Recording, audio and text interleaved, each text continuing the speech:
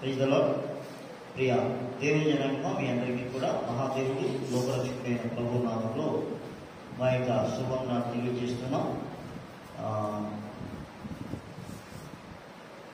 Thank you ఈరోజు మా ముందుకి కొన్ని విషయాలు వచ్చింది చాలామంది కొన్ని ప్రశ్నలు అడుగుతూ ఉన్నారు. చాలామంది క్రైస్తవులున్న డౌట్స్ ఇక్కడ కొన్ని సిస్టర్స్ ఉన్నారు. ఆ, మొదటిగా సహోదరి గ్లోరీ కుమారి మీ డౌట్ ఏం చెప్పండమ్మా పాస్టర్ గారు ప్రైజ్లండి క్రైస్తవులు అసలు ఆభరణాలు వేసుకోవచ్చా? డౌట్ మీకు ఎందుకు వచ్చింది? నెక్స్ట్ క్రైస్తవ పాస్టర్ గారిని కొన్ని సంఘాలు ఆభరణాలు వేసుకోవచ్చు అంటున్నారు. నిజమండి. మరి నిజమో కాదో తెలియకుండా ఆభరణం తీసేసావా? రైతుల సరే విందాం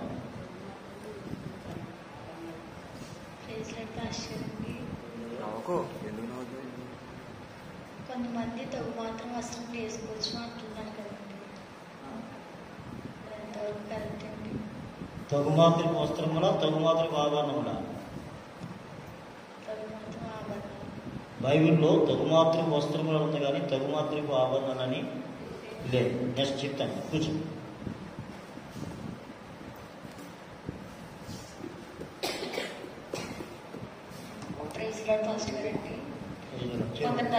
చెప్తున్నారు. సంఘస్థులు వేసుకోవచ్చు. డైజన్ కుటుంబం మాత్రం వేసుకోకూడదు అంటున్నారు. ఏది నిజమండి? ప్రైజులు సంఘస్థులకు ఒక న్యాయము దే- దైవజనులకు ఒక న్యాయం బైబిల్లో లేదు. సరే కూర్చోండి దానికోసం మాట్లాడు మీరు అడిగిన ప్రశ్న ఎలా ఉన్నాయంటే క్రైస్తవులు ఆభరణములు వేసుకోవచ్చా? ఒకరు రెండవ వాళ్ళు కొన్ని సంఘాల వారు ఆభరణాలు వేసుకోవచ్చు అంటున్నారు నిజమేనా? మరొకరు కొందరు తగు మాత్రమే అంటున్నారు. మరికొందరు దైవజనులు కుటుంబం మానేస్తే చాలు మిగిలిన వారు తప్పనిసరిగా సంఘం వేసుకోవచ్చు అంటున్నారు ఇందులో ఏది వేసినా అడుగుతాను దేవుని స్తోత్రం. అయితే ఇక్కడ మొట్టమొదటి విషయం ఏంటో చూసినట్లయితే అసలు క్రైస్తవులు అంటే ఎవరు? అడిగారు క్రైస్తవులు ఆభరణము వేసుకోవచ్చా? అని. అసలు క్రైస్తవులు అంటే ఎవరు? మనకున్న సమయం చాలా తక్కువ. కొద్ది నిమిషాల్లో మనం ముగించుకొని తర్వాత మా- భాగం అందులో మనం చూద్దాం. క్రైస్తవులు అంటే ఎవరు యేసుక్రీస్తు ప్రభు వారిని అంగీకరించిన ప్రతి వారు కూడా క్రైస్తవులు అయిపోతారా దేవుని మందిరానికి వెళ్ళిన వారందరినీ కూడా క్రైస్తవులైన పిలవచ్చా? అలాగే అని మొట్టమొదటి మనం తెలుసుకోవాలి. క్రైస్తవులు అని పిలువబడిన వారు ఎవరైనా నిజమైన క్రైస్తవులు అనే వారు ఎవరైనా ఉన్నట్లయితే క్రైస్తవులు ఎవరికి కూడా ఈ డౌట్ రాదు. అలెలు ఎందుకంటే క్రైస్తవులు అనేదే చాలా ప్రత్యేకమైన పిలుపు బైబిల్ సెలవిస్తూ ఉంది అంత్యొకయలో శిష్యులు క్రైస్తవులు అనబడిరి అని. ఎవరు క్రైస్తవులు? శిష్యులు క్రైస్తవులు అనబడ్డారు అన్నాడు దేవుని స్తోత్రం కలుగుతున్నారు అంటే ఒక వ్యక్తి క్రైస్తవుడిగా క్రైస్తవురాలుగా మారాలి అంటే వారు మొట్టమొదటి ఎట్లా మారాలట? శిష్యులు. దేవుని స్తోత్రం. హల్లెలూయ. మరి ఈ శిష్యులు అన్నదానికి లోకంలో ఎన్నెన్నో అర్థాలు ఉండొచ్చు కానీ బైబిల్ పరిభాషలో బైబిల్ ప్రకారముగా అంటే బైబిల్ వాక్యానుసారముగా మనం చూస్తే యేసు ప్రభు చెప్పిన శిష్యులు వాళ్ళు ప్రభు కొరకు అన్ని విడిచిపెట్టిన వారు ప్రభు కొరకు అన్ని విడిచిపెట్టిన వారు ఎగ్జాంపుల్ లోకస్ వార్త పద్నాలుగో అధ్యాయం ముప్పై మూడో వచ్చిన మనం చూసినప్పుడు మీలో తనకు కలిగినదంతయు విడిచిపెట్టని వాడు నాకు శిష్యుడు కానేరడు ఆ ప్రకారమే మీలో తనకు కలిగినదంతా విడిచిపెట్టని వాడు నాకు శిష్యుడు కానేరడు దేవుని స్తోత్రం. మొట్టమొదట ఒక వ్యక్తి శిష్యుడిగా కానీ శిష్యురాలుగా కానీ కావాలంటే ముందు తను ఏమైతే కలిగి ఉన్నాడో అవన్నీ కూడా విడిచిపెట్టాలి. దేవుని స్తోత్రం. అవన్నీ కూడా ఏం చేయాలి? విడిచిపెట్టాలి. ఏంటి మనిషి కలిగి ఉన్నది? ఆస్తిపాస్తుల? వీటి గురించి కూడా మనం ఆలోచన చేస్తే దైవజనుడైన ఏలియా తన పరిచర్య కాలం అయిపోతున్నప్పుడు దేవుడు ఒక మాట చెప్పాడు. ఎలిషా గురించి అయినా ఒక వర్తమానాన్ని దేవుడు ఏలియాకి ఇచ్చాడు. ఎలిష ఒక భూస్వామి కానీ దేవుడు దైవజనుడి ద్వారా అతన్ని పిలిచినప్పుడు దైవజనుడు ఆయన మీద దుప్పటి వేసినప్పుడు దేవుని అభిషేకం అతను ఎప్పుడైతే అతను అనుభవించాడో వెంటనే ఆ దైవజనుడి దగ్గరికి వచ్చి మాట అంటా ఉన్నాడు అయ్యా నేను ఇంటికి వెళ్ళి నా తల్లిని తండ్రిని ముద్దు పెట్టుకొని నేను వచ్చేస్తాను అన్నాడు. ఇప్పుడు దైవజనుడు చెప్పాడు నా వలన నీకు అభ్యంతరం ఏమీ లేదు వెళ్ళు అన్నాడు. అలా వెళ్ళిన అతను తను ఏమైతే కలిగి ఉన్నాడో ఆ ఎడ్లన్నీ కూడా వరించి అందరికీ భోజనం ఏర్పాటు చేసేసి అంటే తనకంటూ ఏమీ లేకుండా నిరాడంబరిగా వచ్చేసాడు ఆయన దేవుడి దగ్గరికి. గురువైన ఏలియా దగ్గరికి. దేవునికి స్తోత్రం. అతను గురువు దగ్గర నుంచి చివరికి ఏం పొందాలనుకున్నాడు అని అడిగినట్లయితే అభిషేకం మాత్రమే కావాలనుకుంటున్నాడు. రెట్టి రెండింతల అభిషేకం. దేవునికి స్తోత్రం కలుగుతున్నాడు హల్లెలూయ. అంటే శిష్యుడికి ఏం కావాలి? గురువు గారి దగ్గర ఏమైతే ఉందో శిష్యుడికి అదే కావాలి. ఈరోజు చాలామంది గురువు గారి దగ్గర ఉన్న ధనంలో మరొకదాన్ని మరొకదాన్ని చూసి వెంబడించే వాళ్ళు ఉన్నారు. కానీ నిజమైన శిష్యుడికి ఈ లోక సంబంధమైన ఏమీ కూడా అర్థలేదు వారికి కావలసింది కేవలము అభిషేకం మాత్రమే. వారు దేవుణ్ణి మాత్రమే వెంబడించాలి అనుకుంటారు. అలాగని వివాహం చేసుకురా వివాహం చేసుకుంటారు భార్యలు ఉంటారు పిల్లలు ఉంటారు భర్త ఉంటాడు. తప్పనిసరిగా స్త్రీలు వివాహం చేసుకోవచ్చు పురుషులు కూడా వివాహం చేసుకోవచ్చు. వారు కూడా సంసార జీవితాన్ని జీవిస్తూ ఉంటారు. కానీ ఈ లోకంలో ఎంత జీవితం ఎంత గొప్ప ఉన్నతమైన జీవితం జీవించినప్పటికీ కూడా శిష్యులు అనేవాళ్ళు వారు ప్రత్యేకింపబడిన వారు కనుక అలాగే అన్నీ ఉంటాయి ఏది నాది అని వారు భావించారు. దేవుని స్తోత్రం.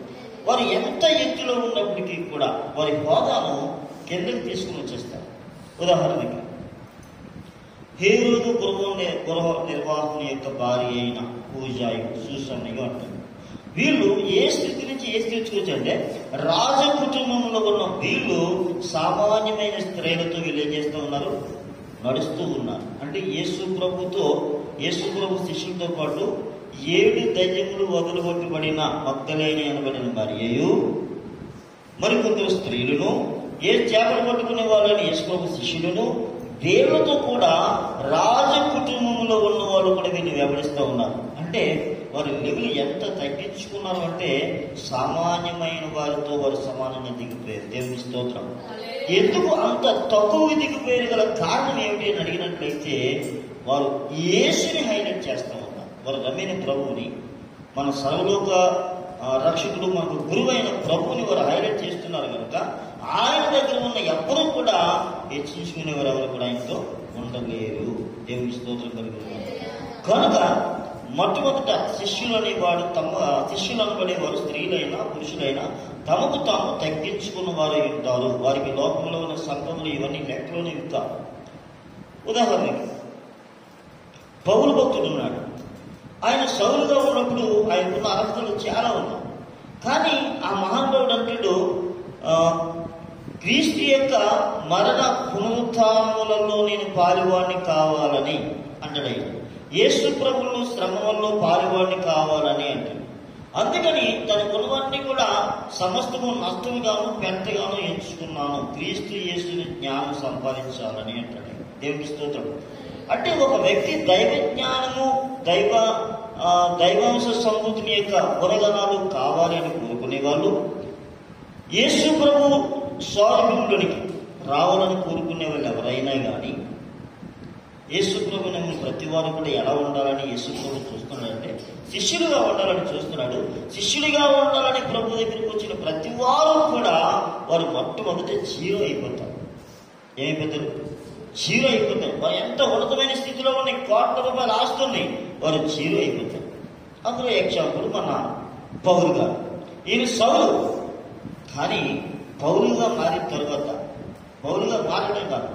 దేవుని స్వరమైన తర్వాత అతను మొట్టమొదటి జీరో అయిపోయింది ఏమి సంపాదించాలనుకున్నాడు ఆయన క్రీస్తుని గురించిన జ్ఞానము. దేవుని స్తోత్రం. ఆయన శ్రమలలో పాల్గొడుట అంటే ఇప్పుడు ఆయన ఏమయ్యారంటే ఒక సన్యాసిగా మార్చబడ్డాడు దేవునికి స్తోత్రం.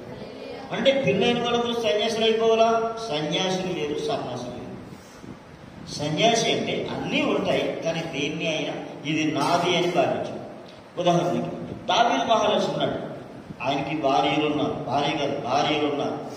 కానీ దేవుడు దావీదు కోసం అంటాడు దావీదు నా హృదయానుసారమైన మనుషుడు అంటాడు దావీదు అంటాడు దేవా నేను ఒక వరం అడిగాను. దానిని వెతుకుతున్నాను అంటాడు. ఏంట వరము?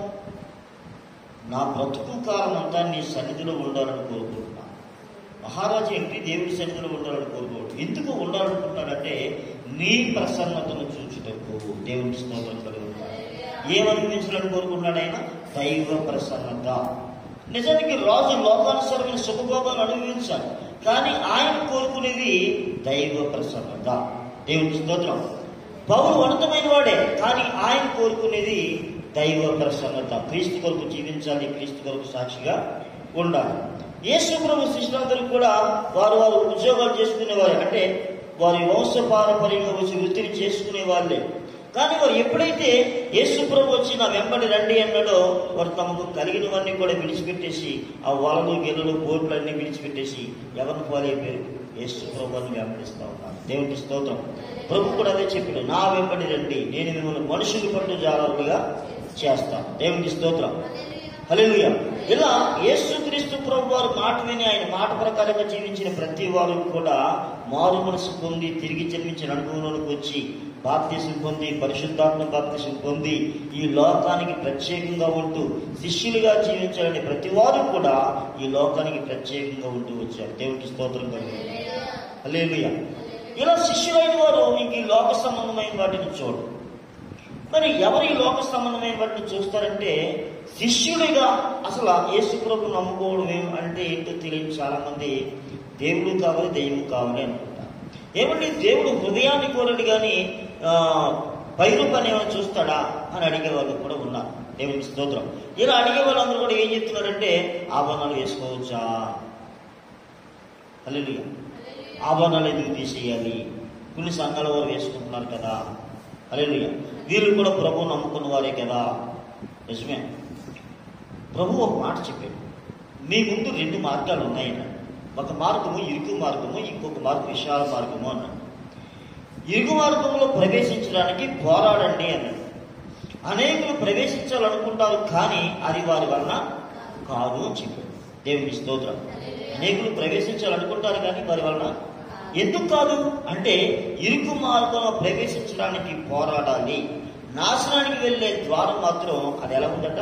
విశాలంగా ఉంది. బైబిల్లో ఉందామంట చూడండి. మత్స్సు వార్త ఏడవ అధ్యాయము పదమూడవ వచనం.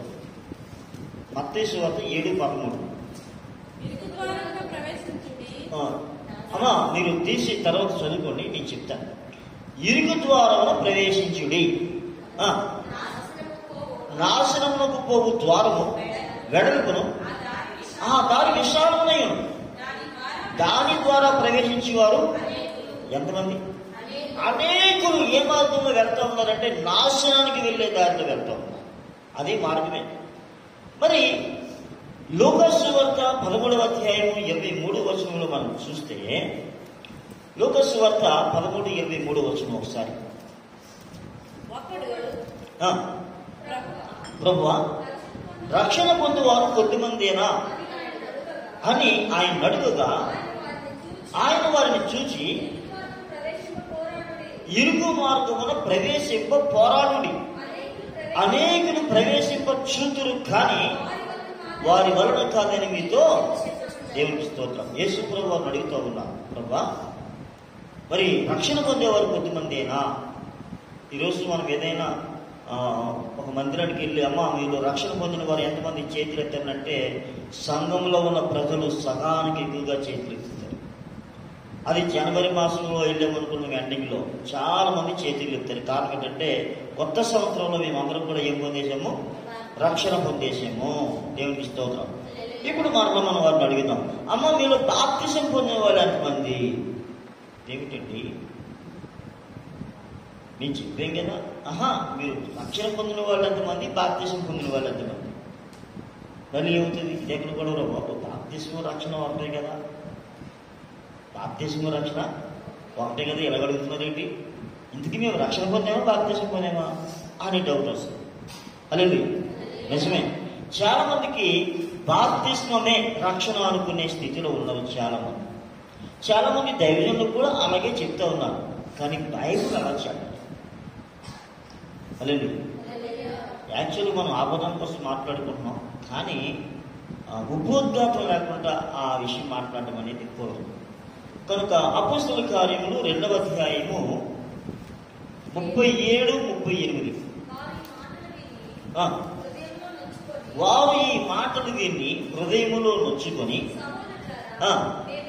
మేము ఏమి చేతుము అని పేతురును కడమ అపోస్తులను అడగగా పేతురు మీరు మారు మనస్సు పొంది పాప క్షమాపణ నిమిత్తము ప్రతివాడు యేసుక్రీస్తు నామమున బాప్తిసం పొందుడి.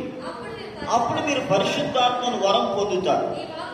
ఈ వాగ్దానం మీకును మీ పిల్లలకును దూరస్తులందరికీ అనగా ప్రభు అయిన మన దేవుడు తన ఎంతకు పిలిచిన వారందరికీ చెందినని వారితో చెప్పింది ఇంకనూ అనేక విధములైన మాటలతో సాక్ష్యమిచ్చి మీరు మూర్ఖులైన ఈ తరము వారికి వేరే రక్షణ పొందుడని వారిని హెచ్చరించను దేవుని ఒక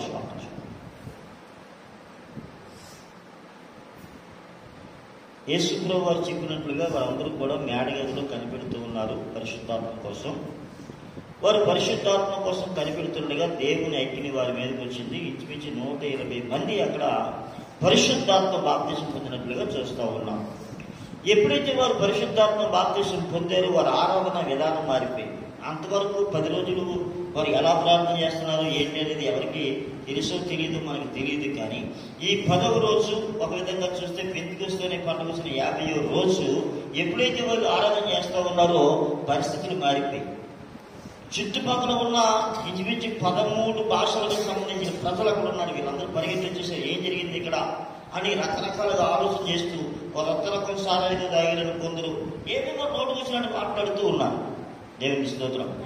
అంటే ఆత్మాభిషేకం ఎప్పుడైతే పొందారో వారి భాషలతో మాట్లాడుతున్నారు అన్య భాషలతో దేవుని స్తోత్రం కలుగుతున్నారు అంటే పరిశుద్ధాత్మ పొందగా వారి మీదకి ఏమొచ్చిందంటే మొట్టమొదటి కొత్తగా భాషలు వచ్చినవి. దేవుని స్తోత్రం. సరే ఇదంతా చెప్పాలంటే మళ్ళీ వేరే సబ్జెక్టు మనకి ఇది ఇప్పుడు ఈ ప్రజలు పరిగెత్తి వచ్చి అడుగుతా ఉన్నారు. అసలు ఏంటి పరిస్థితి అంటే దానికోసం పేదరి గారు కొన్ని మాటలు చెప్పాడు అయ్యా మీరు అనుకున్నట్టు మీరు మంత్రులు గారు యోగ్యం చెప్పింది జరిగింది అని పరిశుద్ధాత్మ కోసం కొన్ని మాటలు చెప్పినప్పుడు ఆ యేసు ప్రభు కోసం కూడా ఆయన చెప్పినప్పుడు వారు కంగారు కూడా అడుగుతూ ఉన్నారు. మరి అయ్యా మరి మేము ఏం చేయాలి ఇప్పుడు? యేసు ప్రభుని సిలివేయడం తప్పే మరి మేము ఏం చేయాలి? అడిగినప్పుడు పేదరి గారు చెప్పారు. ఏమని? మొట్టమొదటి మీరు మారు మనసు పొందండి. పాప క్షమాపణ పొందండి. పాప క్షమాపణ నిమిత్తం ప్రతివాడు యేసుక్రీస్తు నామంలో బాప్తిజం పొందండి. మళ్ళీ ఇక్కడ తండ్రి వచ్చింది. యేసుక్రీస్తు నామంలో బాప్తిజం పొందమన్నాడు కాబట్టి యేసు నామంలోనే బాప్తిజం పొందాలని చెప్పే వాళ్ళు కొందరు వచ్చేసింది వాక్యాన్ని విడదీసేసి ముక్కలు చేసేసి రకరకాలుగా పారేస్తా ఉన్నారు లోపల ప్రజలు నాశనం చేస్తా ఉన్నారు. ఇక్కడ చెప్పాడు కదండి బైబిల్లో ఇప్పుడు ఏసునామంలోనే బాప్తిజం ఉంది కాబట్టి ఏసునామంలో బాప్తిజం పొందాలని చెప్పే వాళ్ళు ఉన్నారు. మనకి సబ్జెక్ట్ వద్దు. యేసుపురం వారు చెప్పాడు తండ్రి యొక్క కుమారుని యొక్క పరిశుద్ధాత్మ యొక్క నామములోనికి వారికి బాప్తిసం ఇచ్చిచ్చు అని ప్రభు చెప్పారు సరే వీరు బాప్తిసం పొందిన తర్వాత ఏం జరుగుతూ ఉంది అంటే ఒక వ్యక్తి యేసు ప్రభుని నమ్మి బాప్తిసం పొందాలంటే అక్కడ జరిగిన విషయం చెప్తున్నాడు మారు మనసు పొందాలి. పాప క్షమాపణ నిమిత్తము బాప్తిసం తీసుకోవాలి. అలలుయా ఎలా బాప్తిసం తీసుకోవాలి? మారు మనసు అసలు మారు మనసు పొందడం అంటే ఏంటి? అంటే యేసు ప్రభు నమ్మకం ముందు ఈ లోకానికి దగ్గర వారు మనం యేసు ప్రభు నమ్మకం ముందు మనం ఎవరిని లోక సంబంధం ఏంటి లోక సంబంధం అంటే వ్యవహార పత్రికలో చెప్తాడు ఒక మాట. వ్యవహార పత్రిక రెండవ అధ్యాయం పదిహేను విషయంలో ఒక మాట ఉంది. దీని ఈ లోకమును కానీ లోకములో ఉన్న వాటిని కానీ ప్రేమించొద్దు. ఎవడైనా లోకమును ప్రేమించిన ఎడల తండ్రి ప్రేమ వానిలో ఉండదు లోకంలో ఉన్నదంతా శరీరస నేత్రస జీవకుడము అవి తండ్రి వలన పుట్టినవి కావు అవి లోక సంబంధమైనవే. లోకము దాని ఆశలు కానీ దేవుని చిత్తము జరిగించేవాడు నిరంతరము నిలుస్తాడు. దేవుని స్తోత్రం కలుగు ఇక్కడ జాగ్రత్త చేస్తున్నాం. ఒక వ్యక్తి మారు మనసు పొందాడు అంటే లోకాన్ని ప్రేమించకూడదు. లోకంలో ఏముంది? శరీరాశ నేత్రాస చేయకూడదు అంటే శరీరాన్ని ప్రేమిస్తూ ఉన్నారు కంటికి నచ్చిందని చూస్తూ ఉన్నారు అనుభవిస్తూ ఉన్నారు. ఆభరణాల విషయంలో అందరికంటే గొప్పగా ఉండాలని ఆభరణాలు ధరిస్తూ ఉన్నారు. ఏమో మీకు ఇంత వయసు వచ్చింది కదా మీకు ఆభరణాలతో అవసరం అంటే నేను దేవాలయం కదండి దేవాలయాన్ని అలంకరించాలి కదండి అని చెప్పేవాళ్ళు ఉన్నారు. కొందరు దేవుడు నాకు ఇచ్చాడండి అందుకే ఆభరణాలు వేసుకున్నానండి. దేవుడు విషయం కూడా ఇచ్చాడు తాగి. హల్లెలూయా. హల్లెలూయా. హల్లే అంటే కొందరు సమాధానాలు ఎలా ఉంటాయంటే కొందరు అంటారు ఏమ్మా మరి మీరు ఎప్పుడు మారు మనసు? దేవుళ్ళతో మాట్లాడితే అయ్యగారు తీసేద్దాం అనుకుంటున్నానండి. ఏం తీసేద్దాం ఏంటి దేవుడు మాట్లాడాలి బైబిల్ అంతా ఎవరు మాట్లాడింది? మనుషులు మాట్లాడిందా? బైబిల్ అంతా కూడా ఎవరు మాట్లాడింది? మానవుడు యేసుక్రీస్తు ప్రభు రక్తంలో కడగబడిన ప్రతివాడు ఎలా ఉండాలి? ఎలా జీవించాలి? బాలులు ఎలా ఉండాలి యవనులు ఎలా ఉండాలి కౌమార్యంలో ఉన్నవారు ఎలా ఉండాలి వృద్ధులు ఎలా ఉండాలి మొత్తం అంతా కూడా బైబిల్లో చెప్పేశాడు ఆయన. అలెలుయ్య బాలుడు నడవలసిన త్రోవ వాడికి నేర్పించు అన్నాడు. యవనస్తులు దేవుని వాక్యం చేతని శుద్ధి చేయబడతారు అన్నాడు. అలెలుయ్య సంసారం చేసుకునే వాళ్ళు ఎలా ఉండాలి వృద్ధులు ఎలా ఉండాలి అన్ని క్లియర్గా చెప్పాడు ఆయన. కొన్ని మాదిరికరమైన జీవితాలు కలిగిన వారిని కూడా బైబిల్లో చూపించాడు. ఇదంతా దేవుడు మాట్లాడింది కాదా? ప్రత్యేకంగా దేవుడితో మాట్లాడాలా? ఒకరోజు మోషే అంటాడు ప్రజలు రండి మీరు దేవుని మాట విందిరిగానంటే ప్రజలు అంటారు అమ్మో మోషే దేవుడు మాతో మాట్లాడితే మేము చేస్తాం. నువ్వు మాతో మాట్లాడు. నువ్వు దేవుడి దగ్గర విని మాతో మాట్లాడు అంటున్నారు ఆనాటి ప్రజలు దేవుని స్వామిని చేస్తాం అంటున్నారు. ఈ భక్తుడికి ఈ భక్తుడికి ఎవరు మాట్లాడినట్ట స్వయంగా దేవుడు మాట్లాడాడు. అసలు దేవుని వెలుగు చూస్తే ఏమైపోతుంది అంత పరిశుద్ధం మనకు ఉందా దేవదూతుల్లో లోపాలు కనుకుంటున్న దేవుడు చిమ్మడి చిరిగిపోయిన మానవుల్లో ఎన్ని కనుగొనో అసలు ఆయన స్వరమైన దమ్ము ధైర్యం అనుకుందా రాత్రి అర్ధరాత్రి ఏదో చిన్న గల్లు గల్లు శబ్దం వచ్చి నువ్వు వెళ్ళిపోతావు కదా? విస్తార జల ప్రవాహముల వంటి ధ్వని కలిగిన ఆయన మాట వింటే నువ్వేమైపోతావు దేవుని స్తోత్రం. హలేలుయ మహానుభావులందరూ కూడా అంటారు మేము చచ్చిన వాని వలే పడి ఉంటుంది అంటారు. దేవుని స్తోత్రం కలుగుతుంది హలేలుయ కనుక చాలా మంది తప్పించుకునే వాళ్ళు దేవుడు మాతో చెప్తే తీసేస్తామండి ఈ దేవుడు ఏం చేయడండి? ఊరేగమని చెప్పాడండి అమ్మూరులాగా అని చెప్తాం నువ్వు ఎవరు నమ్ముకున్నావు? సర్వలోక రక్షకుడని దేవుడిని నమ్ముకున్నావు. నమ్ముకోవడం అంటే అర్థం ఏంటి? ఎందుకు నమ్ముకున్నావు నువ్వు? నాకు గుండె నొప్పి వచ్చిందండి దేవుడు తగ్గించేయండి క్యాన్సర్ రోగం వచ్చిందండి దేవుడు తగ్గించేయండి తలనొప్పి వచ్చిందండి దేవుడు తగ్గించేయండి అప్పటి నుంచి దేవుడిని నమ్ముకున్నానండి. అంటే దేవుణ్ణి ఎందుకు నమ్ముకోవాలి నీకు? తెలియదు ఎందుకు ప్రభువుని అంగీకరించాలి? ఈ భూమి మీద పుట్టిన ప్రతి మనిషికి కూడా ఒకరోజు చనిపోతాడు. చనిపోయిన వాడు పరలోకానికి వెళ్ళాలంటే పరలోకానికి ఒకే ఒక మార్గం ప్రభు యేసుక్రీస్తు. ఎరా బాబు? ఎవరైనా? యేసు ప్రభు ఒక్కడే మార్గం. ప్రభు చెప్పారు నేనే మార్గం సత్యం జీవం నా ద్వారా తప్ప ఎవరు పరలోకానికి చేరలేడు అని. మనం పరలోకం వెళ్ళాలంటే యేసు ప్రభు మార్గంలో జీవించాలి. దేవునికి స్తోత్రం. హల్లెలూయా. వాడు ఎవడో అడిగాడు ప్రభా మరి నేను ఆ, వెళ్ళాలంటే ఏం చేయాలి? అని అడిగాడు.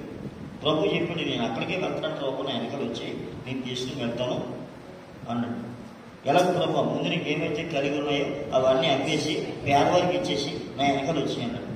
ఆ మాటగాడు వ్యసనపడి బాధపడి ఎక్కడ గొడవ?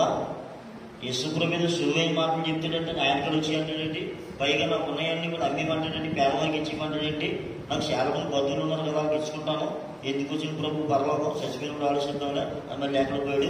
లోపల పోయాడు దేవునికి స్తోత్రం కలిగింది ప్రభు చెప్పాడు నీకు ఒకటి పొదువుగా ఉందిరా హల్లెలూయా. మన అందరి జీవితంలో కూడా ప్రభు చెప్పాడు నేను పరిశుద్ధిని కనుక మీరు కూడా పరిశుద్ధులుగా ఉండండి. ఏ విషయంలో పరిశుద్ధులుగా ఉండాలి?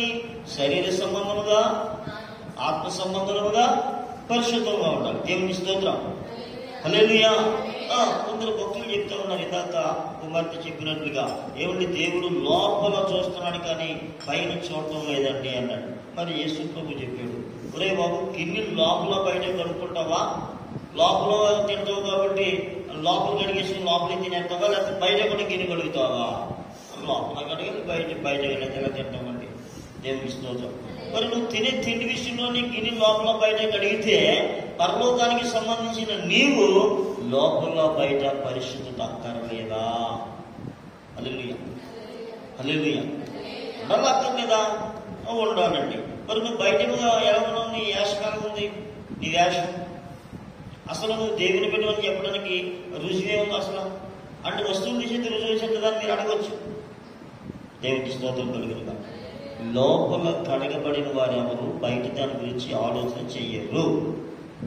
అర్జెంట్గా తీసి పడేస్తారు దేవుడు చాలా మంది ఆ దేవునికి వ్యతిరేకంగా ఉన్నవారు మనం చూసినప్పుడు వారు చెప్పిన సాక్ష్యాలు వింటే ఆశ్చర్యపోతూ ఉంటాం. నిద్రలో పడిపోయేయండి దొంగలు పట్టుకుని పోయారండి ఎన్నిసార్లు పెట్టుకు పెట్టుకుని అవి నిలబడట్లేదండి. దేవునికి స్తోత్రం కలుగు హలేలుయ హలేలుయ అంటే ఒక వ్యక్తి క్రైస్తవుడు కావాలంటే మొట్టమొదటి ఏం కావాలి? శిష్యుడు కావాలి. యేసు గురుకు నమ్ముకుని బాప్తీసం పోతేసినట్టు నేను రచన పోతేసినట్టు ఎగిరిపోతానంటే కుదరదు దేవునికి స్తోత్రం. అసలు యేసు ప్రభు దగ్గరికి రావడానికి మొట్టమొదటి అర్హత ఏంటి? మారు మనస్సు. ఏంటంట? మారు మనస్సు పరలోకానికి పాత్ర. దేవునికి స్తోత్రం. మారు మనసు లేకుండా నీకు ఏమీ రావు. మారు మనసు ఉంటే ఒక విశ్వాసం కోసం తెలుస్తుంది బాప్తిసం కోసం తెలుస్తుంది పరిశుద్ధాత్మ బాప్తిసం తెలుస్తుంది ప్రత్యేకత తెలుస్తుంది సమర్పణ తెలుస్తుంది అప్పగింపు తెలుస్తుంది అన్నీ తెలుస్తాయి. స్తోత్రం. హలేలుయా హలేలుయా హలేలుయా బైబిల్ గ్రంథంలో మనం చూస్తే అపోస్తుల బోధ అంట ఏ బోధ? అపోస్తుల బోధ అపోస్తుల బోధ ఏంటి అసలు? అపోస్తుల బోధలు ఏమున్నాయంటే నేనైతే ఒక మాట చెప్తాను. మనకి దైవజనులు పెద్దయ్య గారు కృష్ణపురయ్య గారు ఒక మాట చెప్పారు. లోకంలో అనేకమైన బోధలు ఉన్నాయి కానీ సంఘానికి అనేకమైన బోధలు ఉన్నాయి కానీ మనకి లోకంలో ఉన్న సిద్ధాంతం మనకు పని లేదు కానీ బైబిల్లో ఉన్న సిద్ధాంతము బైబిల్ సిద్ధాంతం అంటే దాని బోధ అంటాం బోధాక్రమము. ఈ బోధక్రమాన్ని మనం పాటించాలి అంట ఏముందండి బోధక్రమంలో అంటే? ఆయన చెప్పిన మాట దైవజనుడు ప్రతి వారితో ఆయన ఈ విషయం చెప్పారు. మొట్టమొదట క్రైస్తవ జీవితానికి ఏముండాలి? చెప్పండి వరుసగా. విశ్వాసం ఉండాలి హల్లెలూయా. ఎట్లా వస్తుంది విశ్వాసము? వినుట వలన విశ్వాసము కలుగును. మొట్టమొదటి దేవుడి సన్నిధికి వచ్చినప్పుడు దేవుని సహవాసము ఎదుగుతూ ఉన్నప్పుడు నీకు విశ్వాసం వస్తుంది. దేవుడి సన్నిధికి వచ్చినట్టు నువ్వు క్రైస్తవుడివి. క్రైస్తవురాలు అయిపో. వస్తూ దేవుని మాటలు వింటూ ఉండగా నీకు దేవుడు ఆత్మకార్యం జరిగిస్తూ ఉంటాడు. అప్పుడు నీవు కూడా ఏం చేస్తావు? విశ్వసిస్తావు. విరుడు వలన విశ్వాసం కలుగును. అనేకులు సాక్ష్యం మనం వింటూ ఉంటాం దేవుని వాక్యం మనం వింటూ ఉంటాం. అప్పుడు మనకి ఏం కలుగుతుంది? విశ్వాసము కలుగుతుంది. దేవునికి స్తోత్రం. విశ్వాసం వచ్చిన తర్వాత మారు మనసు వస్తుంది. దేవునికి స్తోత్రం. దేవుని గురించిన వాక్యం ఎప్పుడైతే మనలో కార్యం చేస్తూ ఉందో మనకి ఏమొస్తుంది? మారు మనసు వస్తుంది. అంటే ఇంతవరకు నువ్వు లోకంలో ఉన్నావు. అయ్యో నువ్వు తెలియకనే నేను లోకంలో ఉన్నాను అని చెప్పి వెంటనే మారు మనసు పొందుతాం. దేవునికి స్తోత్రం. మళ్ళీ మారు మనసులో మూడు అనుభవాలు ఉన్నాయి. మారు మనసులో కూడా అనుభవాలు ఏంటి ఒకటి పాప ప్రత్యేకము రెండవది తిరిగి జన్మించుట. మూడవది మారు మనసు అలెలుయ్య ఈ మారు మనసు ఎలా వస్తుందంటే దైవ చిత్తానుసారమైన దుఃఖము రక్షణార్థమైన మారు మనసును కలుగు చేయను. ఈ మారు మనసు మనకి దుఃఖమును కలుగు చేయదు అన్నాడు. రక్షణార్థమైన దుఃఖం వేరు శరీర సంబంధమైన దుఃఖం వేరు. దేవునికి స్తోత్రం? ఇప్పుడు మారు స్మృతులు ఏం చేస్తాడంటే తప్పనిసరిగా నాకు ఈ లోకంతో పని లేదని తీసుకుంటాడు దేవునికి స్తోత్రం కలిగిన. అలెలుయ్య బాప్తిజం తీసుకునేటప్పుడు ఏమైనా పాప విషయమై ప్రత్యర్థపడ్డాడు. ఈ లోక సంబంధమైన విషయాన్ని కట్ చేసుకుంటూ ఉన్నాడు. దేవునికి స్తోత్రం. అలెలుయ్య ఆ వ్యక్తి ఎప్పుడైతే తిరిగి జన్మించాడో ఇంకా వ్యక్తి నాకు ఆభరణాలు ఉండాలి అయ్యి ఉండాలి ఇవి ఉండాలి అని చెప్పి ఆయన తీసి పడతారు. ఆడవాళ్ళైనా మగవాళ్ళైనా తీసి పడేసి మరల వాళ్ళ జోలికి వెళ్ళరు ఎందుకంటే వాళ్ళు మారు మనసు అనుకున్నట్టు వచ్చారు బాప్తీసం అనుకున్నట్టు వచ్చారు దేవునికి స్తోత్రం. ఇప్పుడు బాప్తీసం పొందిన ప్రతి వారు కూడా ఏం చేయాలి? పరిశుద్ధాత్మ బాప్తీసం పొందాలి. ఇప్పుడు చాలా మంది ఉన్నారు పరిశుద్ధాత్మ బాప్తీసం అంటే పెంతుకొస్తు సంఘాలకు మాత్రమేనండి అనేవాళ్ళు ఉన్నారు. దేవునికి స్తోత్రం కలుగునిగా హలో బైబిల్ అలా చెప్పలేదు. ఏమన్నాడు పరిశుద్ధాత్మ బాప్తీసం? ప్రభు అయిన దేవుడు తన దగ్గరకు పిలిచిన వారందరికీ. హల్లుయ మీకును మీరు దూరస్తులందరికీ అనగా ప్రభు అయిన దేవుడు తన దగ్గరకు పిలిచిన వారందరూ కూడా పరిశుద్ధాత్మ బాప్తిసం పొందాలి అని చెప్పాడు ఆయన. దేవునికి స్తోత్రం. ఈరోజు కొన్ని వందల వేల లక్షల మంది పాస్టర్ అసలు పరిశుద్ధాత్మ లేదు పొందలేదు. పరిశుద్ధాత్మ పొందలేదు. ఎక్కడో బయట టెన్త్ క్లాస్ పోయింది ఇంటర్మీడియట్ పోయింది లేకపోతే లోపల పని ఏమీ లేదు సేవ తయారుగా ఉంది. ఎక్కడికో వెళ్ళిపోయి సంవత్సరం రెండు సంవత్సరం ట్రైనింగ్ అయ్యారు వాళ్ళు సర్టిఫికేట్ ఇచ్చారు. ఎక్కడో జీతం చెప్పారు సేవ చేయమన్నారు. వీళ్ళు సంచెట్టుకుని వచ్చేస్తున్నారు. ఏమనుకోలేదు పరిశుద్ధాత్మకం కానీ విశ్వాస కానీ దేవుని దగ్గర నుంచి ఎలా పొందాలి? ఏం తెలియదు. హల్లెలూయా. ఇవి లేకపోతే దేవునికి స్తోత్రం కలుగు హల్లెలూయా. పరిశుద్ధాత్మకు లేదు. బైబిల్ ఏం చెప్తుంటే మీరు బయలుదేరి శక్తి పొందే వరకు పట్టణంలో నిలిచి ఉండండి అని చెప్పాడు శక్తి పొందకుండా బయటికి వెళ్ళదని చెప్పాడు. యేసు ప్రభు శిష్యుల్ని ఆ విధంగా ఉండమని చెప్పినప్పుడు మరి ఇప్పుడు వచ్చే పాస్టర్ గారు పరిశుద్ధాత్మ పొందక్కర్లేదా పొందండి అంటే రక్షణ వాళ్ళకి లేదు. బైబిల్కి ఎవడో చెప్తారు. స్తోత్రం. హల్లెలూయా. పరిశుద్ధాత్మ తరం మరి ఎవరినైనా ఏమా మూర్ఖులైన ఈ తరానికి వేరే రక్షణ పొందండి. ఎప్పుడు వచ్చింది రక్షణ? విశ్వాసం వచ్చిన తర్వాత. మారు వచ్చిన తర్వాత తిరిగి జన్మించి బాప్తిసం పొందిన తర్వాత బాప్తిసం తర్వాత పరిశుద్ధాత్మ వచ్చిన తర్వాత పరిశుద్ధాత్మ అనుభవం నుంచి మూర్తులైన ఈ తరానికి వేరైన తర్వాత. అలాగే అప్పుడు వచ్చింది రక్షణ. లింగు లింగని నాలుగు వారాలు గుడికి వచ్చేసి బాప్తిసం చేసేసుకుని ఏం రక్షణ పొందేశాను? నా పేరు మరియమ్మ నా పేరు దేవమ్మ నా పేరు దేవమాత. అప్పలమ్మ దేవమాత అయిపోతుంది.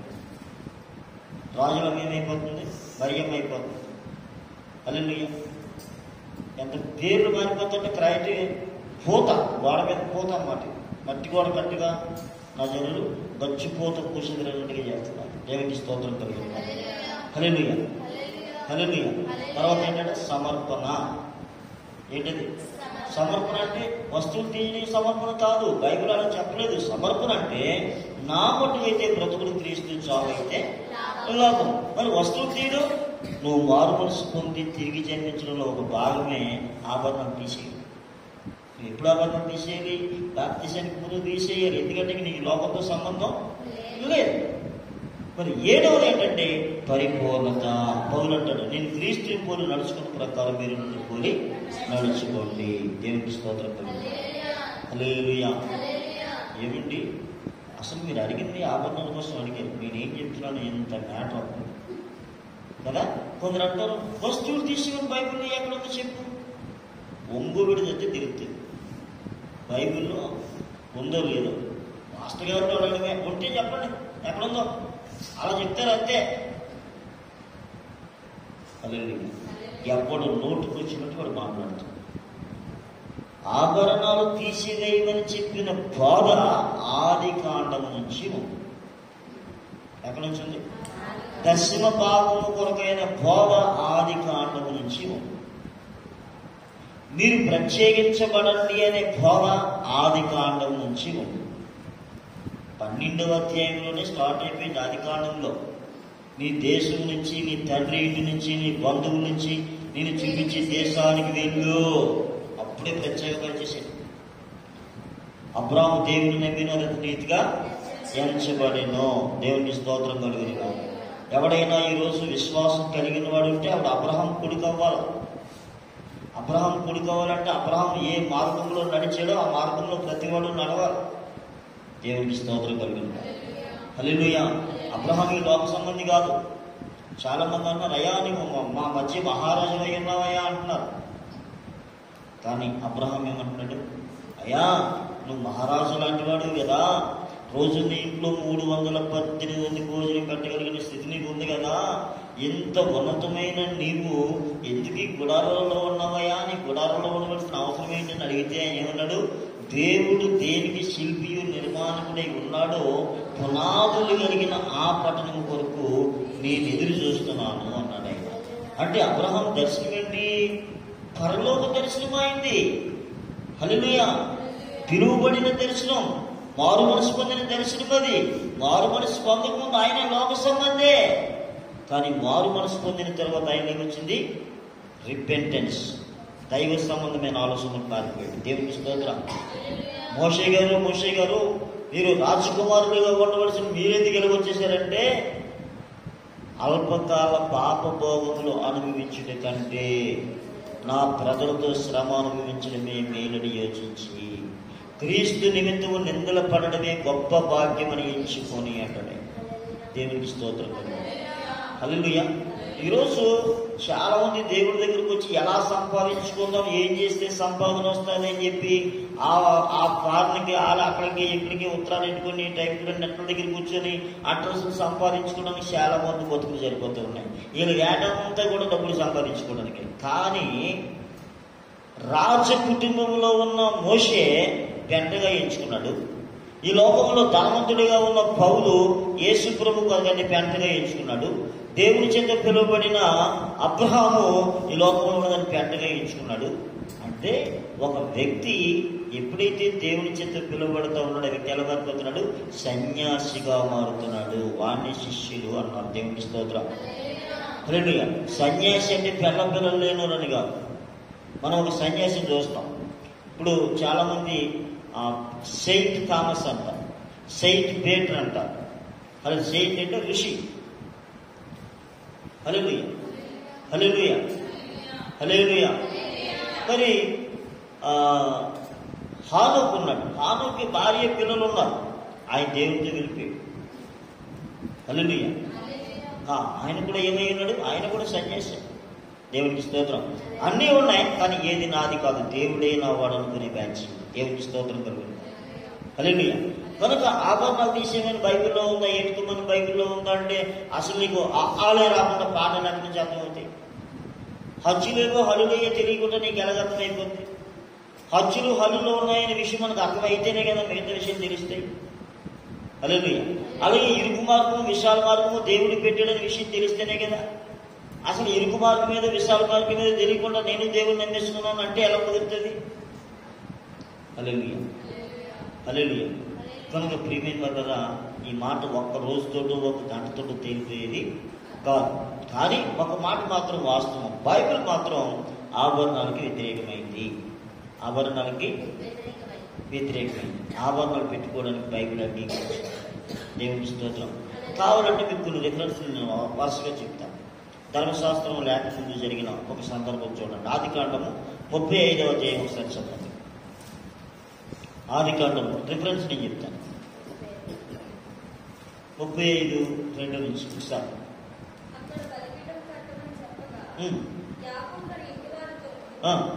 ఉన్న అందరితో ఉమ్. మీ అందరూ చూడండి మీరు ఇంటి దగ్గర చదువురు కానీ యాకోబు తన కుటుంబంతో చెప్తున్నాడు నా శ్రమ దినంలో నా పుత్రం ఇచ్చిన దేవుని మీద బలిపీఠం కట్టాలి బేతేరికి వెళ్ళాలి మిమ్మల్ని మీరు శుచిపరుచుకొని మిమ్మల్ని మిమ్మల్ని శుచిపరుచుకొని రండి అని చెప్పాడు. వారు వారి శుభ్రమవడం అంటే స్నానం చేయడం స్నానం ఆచరించి బట్టలు మార్చుకుని వారి చెవులుకున్న పోగులను అల్లు యాకోబునకు అప్పగింపుగా యాకోబు శేఖము వృక్షము దగ్గర వాటిని దాచిపెట్టాను పాతి పెట్టాను అంటే దేవుడి సన్నిధి కదా ఆయన రమ్మన్నాడు మరి ఎందుకు తీసేయాలా? దేవుని స్తోత్రం. నిర్గమాకాండ ముప్పై మూడో అధ్యాయంలో మనం చూస్తే దేవుడు అంటాడు మీరు లోబడినోళ్ళని ప్రజలు కనుక నేను మీతో కూడా రాను. ఒకవేళ వచ్చిన దారిలో మిమ్మల్ని చంపేస్తానేమో. నేను మీతో కూడా రాను. వచ్చిన దారిలో మిమ్మల్ని చంపేస్తానేమో. మిమ్మల్ని ఏం చేయాలో నాకు తెలియాలంటే ముందు మీ మీద ఉన్న ఆభరణాలు తీసివేయండి దేవునికి స్తోత్రం. అంటే ఆభరణాలు దేవునికి ఎట్లా కనపడుతున్నాయి? ఆభరణాలు ధరించుకునే వాళ్ళు ఎలా కనపడుతున్నారంటే గర్వంగా ఉన్నారు. ఎలా ఉన్నారు? అంటే ఈ లోకంలో ఆభరణాలు ధరించుకునే వాళ్ళు దేనికి ఆభరణాలు ధరించుకున్నారు ఎరుగు తెచ్చుకుంటా ఉన్నారు రోడ్డు రోడ్డు కొనుక్కుంటా ఉన్నారంటే మేము కూడా ఉన్నవారు మీ దర్భం. ఏసుకెళ్ళి ఏడు పంతొమ్మిది చెప్తా ఉంది ఆ ఆభరణములు వారు తమ గర్వములకు ఆధారముగా ఉపయోగించి. ఎందుకు ఉపయోగించారట? గర్వానికి ఆధారంగా ఉపయోగించారు. అవి అక్కర్లేదు అక్కడ. అంటే ఆభరణాల మూలంగా వారు దేవుడికి ఏమవుతూ ఉన్నారు? దూరం అవుతూ ఉన్నారు. మరి యశ్వరన్న మూడవ అధ్యాయం పదహారు రోజులు చూస్తే సియోను కుమార్తెను కనిపిస్తున్నా అంటే మెడచాల్చి నడుస్తున్నారు వారసుకులు చూస్తున్నారు పురుగుతో నడుస్తున్నారు కాళ్ళ గజలు భోగిస్తున్నారు మరి నడిమిది గోడి చేసేస్తాను అన్నాడు ఆయన. దేవుని స్తోత్రం. అంటే సియోన్ కుమార్తెలు ఎలా ఉండాలో అలా లేరు. హల్లెలూయా. హల్లెలూయా. మనం ఇంకా చాలా విషయాలు చూడొచ్చు మనకు సమయం లేదు. పేతురు భక్తులు అంటాడు మీరు ఇదివరకు మునుపటి విషయంలో మీకు ఆభరణాలు ఉండేవి కానీ ఇప్పుడు మీరు క్రీస్తుని ధరించుకున్న వారు కనుక చెడలు అల్లుకోవడం కానీ బంగారు నగలు పెట్టుకోవడం కానీ వెలుపటి అలంకరణ వెలుపటి అంటే యేసు ప్రభులో లేని వారికి ఉన్న అలంకరణ మీకు ఉండకూడదు హల్లెలూయా. మరి పౌలు గారు తిమోతికి రాస్తూ చెప్తాడు స్త్రీలు అనుకువ స్వస్థ బుద్ధి అనే ఆభరణం ధరించుకోవాలి. అనుకువ? ఈరోజు పాశ్రమలకి లేదు? సంఘానికి లేదు అనుకువ స్వస్థత తగు మాత్రపు వస్త్రముల చేతనే తగు మాత్రం అంటే చాలా మంది తక్కువ కడుతున్నాం పాస్టర్ గారు కూడా పొట్టి చేతులు జాకెట్ వేసుకుంటున్నాం హల్లెలూయా. హల్లెలూయా. సంఘానికి తల్లి తల్లి వేసుకునే బట్టలు తల్లి వేసుకోవట్లేదు. సంఘస్థులు లోకానికి మాదిరిగా ఉండవలసిన సంఘస్థులు పొట్టి పొట్టి చేతులు టైట్ ప్యాంట్లు టైట్ జీన్లు. తగు మాత్రం అంటే దాని అర్థం ఏంటంటే మన స్తోమతకు తగినట్టుగా ఇంకా సన్యాసులకు తగినట్లుగా అల్లుయా హల్లెలూయా. ఈ పట్టించుకోవట్లేదు సొంత మాటలు చెప్తున్నాను. అలాగే ఎక్కడ ఉందండి? తీసుకుని ఎక్కడ ఉందండి? ముక్కు పొడకు వస్తే తీసుకుని బైబిల్లో ఉందా అని వాళ్ళు ఉన్నారు చదివితే తెలుస్తుంది. ముక్కు పొడక పెట్టుకున్న వాళ్ళు ప్రార్థన దేవుడు వినని ఏసుకెళ్తే చెప్తా ఉన్నాడు ఆయన. దేవునికి స్తోత్రం కలిగి కనుక ప్రియమైన వారు ఎక్కడుందా? ఎనిమిదవ అధ్యాయం పదిహేను వచనంలో ఉంటుందన్నమాట మీరు తర్వాత చదువుకోండి. దేవునికి స్తోత్రం. కనుక దేవుని మీద లాభాలు పెట్టుకోవచ్చు అంటే నువ్వు నిజంగా మారు మనసు పొందితే ప్రత్యేక హృదయం నీకుంటే తిరిగి జన్మించిన అనుభవం నీకుంటే ఆభరణాలు పెట్టుకోవచ్చా పెట్టుకోకూడదని వాడకు అదే ఎందుకంటే మారు మనసు పొందిన వాడికి లోపంతో సంబంధం లేదు. ఈ లోక సంబంధం ఈ లోక విశ్రామం దేవునితో వైరమని మీరు ఎరగరా అన్నాడు ఆయన. నువ్వు విశ్వాసం కనుక నువ్వు అవిశ్వాసంతో పొత్తు ఉంటుంది ఆయన. అసలు దేవుని ఆలయానికి విగ్రహాలతో ఏం పొంది నువ్వే దేవుని ఆలయం. ఈ ఆలయంలో వల్ల విగ్రహాలు ఎందుకు? ఆవరణలు కూడా ఏమున్నాయి విగ్రహాలు. ఏమా సిస్టర్ ఏంటి మీరు ఎందుకు అబద్ధం తెలియదంటే మా ఆయన కోసం అండి ఈ దొంగ మాటలు చెప్తారు ఓకే మీ ఆయన కోసమా? సరే. మరి ఎప్పుడు మీ ఆయన మారు వరకు ఉంచుకో. నో ప్రాబ్లం కొందరు పాస్టర్ గారు అంటారు మరి వాళ్ళు భక్తి ఉందండి వాళ్ళ భక్తి కోసం వాళ్ళ ఆభరణాలు ఉంచుకున్నారండి అందుకని వాళ్ళు బాప్తీసం ఇచ్చేద్దామండి. నేనైతే నోరు మీ వాళ్ళ భర్త మారినప్పుడు ఇద్దరు కలిసి బాప్తీసం తీసుకుంటారు నువ్వు ఇచ్చిన బాప్తీసం ద్వారా వాళ్ళు పరలోకానికి వెళ్తారు నేను ఇచ్చిన బాప్తీసం ద్వారా? ఇదిగో మా మా అమ్మాయి మారిపోవడం తాను మారుడే కనుక మారుడు ఎప్పుడు మారుతలేదు ఇప్పుడు మా అమ్మాయి బాప్తీసం ఇచ్చిందని అనుకుంటే నేను ఇచ్చిన బాప్తీసం పరలోకానికి తీసుకుని వెళ్తారా తీసుకుని వెళ్ళు ఎవరి వలన అభ్యంతరం వచ్చిందో వాళ్ళకి శ్రమ దేవునికి స్తోత్రం.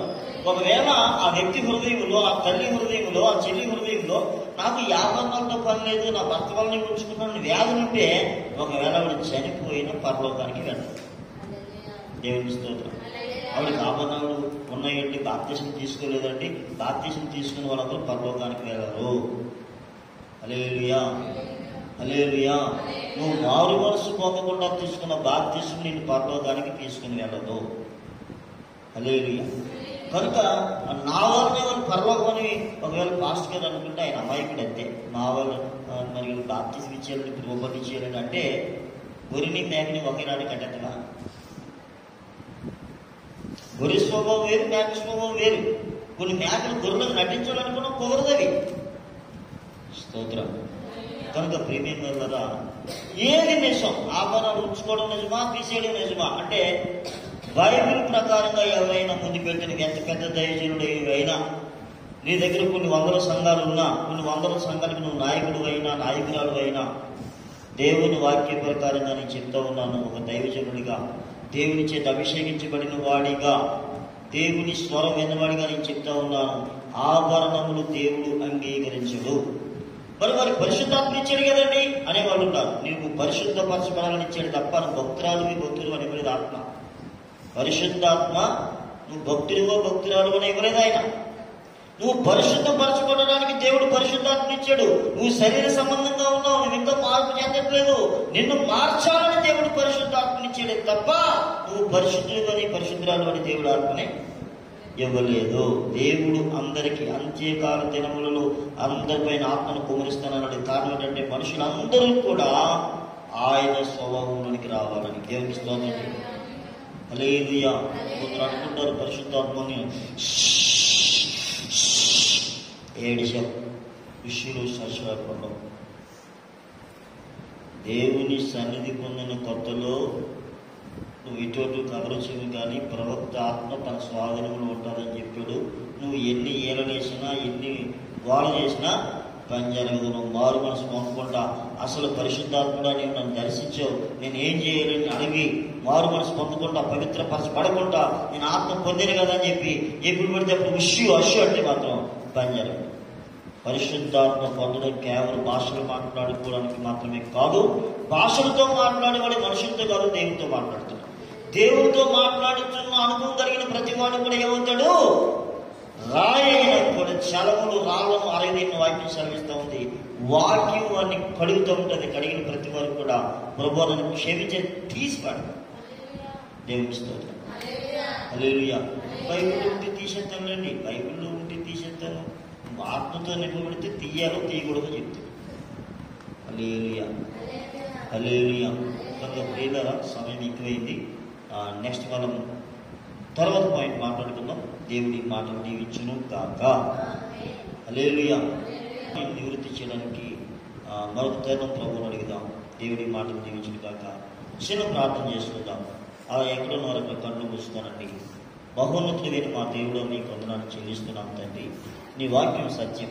అయితే ఈరోజు సత్యము సంత వీధుల్లో పడిగినది దాన్ని కొని ఉంచుకోమని చెప్తున్న దేవా మీ తండ్రి ఆది నుంచి ఏది ఉన్నదో మేము ఏది చూచిటమో ఏది నిదానించి కొనుగొంటమో మా చేతులు దేవుని తాకి చూచినాం దాన్ని తెలియజేయనట్లుగా కరుణించిన ప్రభా ఈ వాక్యం అందరిలో ముప్పది అరవది నిరోధులుగా పలింపు చేయమని మీరే మహిమగడత ప్రభావాలు ఇదిగో పౌరు చెప్తున్నాడు వారు ఎంతటి వారైనా దేవదూతైనను శాపగ్రస్తులు అవును కాక మాట మేము వింటున్నాం నమ్ముతున్నాం.